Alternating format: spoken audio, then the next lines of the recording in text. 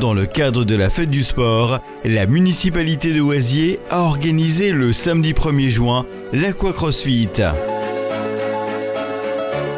Cette nouvelle activité mise en place par la commission sport et l'équipe de la piscine municipale a connu un beau succès pour sa première édition. Chaque année, pour la fête du sport, nous devons sans cesse innover pour toucher de plus en plus de personnes. Attirer la population à des nouvelles activités, essayer de trouver des animations qui associent l'effort, le plaisir et le surpassement de soi-même. Cette journée sportive et aquatique, scindée en deux parties, le matin pour les moins de 12 ans et l'après-midi pour les ados et adultes, s'est apparenté à un parcours du combattant, adapté à l'âge des participants.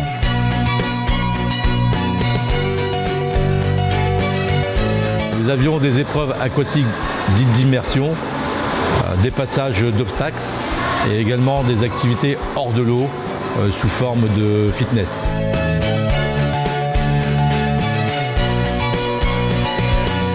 Les plus grandes difficultés, ça a été les franchissements des structures gonflables ainsi que les parcours d'apnée.